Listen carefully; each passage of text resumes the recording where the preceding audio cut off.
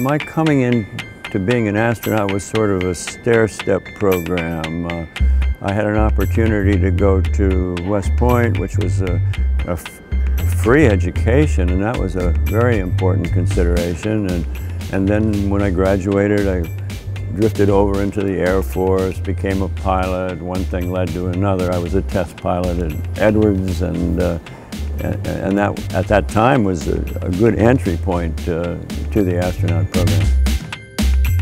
You know, you bring to a flight uh, 30 years of living on this dinky little planet and uh, whatever you've been able to put together and try to retain, all that I think goes into the preparation for a flight. One small step for man, one giant leap for mankind. When Neil Armstrong stepped out onto the surface of the moon, that I think was kind of the peak of the interest that the American public had. Buildings like this do a lot to sustain that level of interest, and, and, and that's one of the things that I think is very important about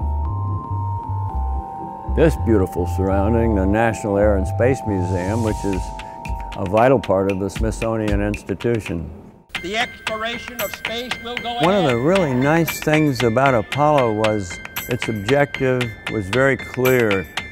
President uh, nation should commit itself Kennedy had said put a man on the moon by the end of the decade out. I came to Washington sneaking up on 1976 and I used to run around town saying, museum on the mall by the bicentennial. And I'll take those three important facets of Apollo and try to transfer them to the construction of this building.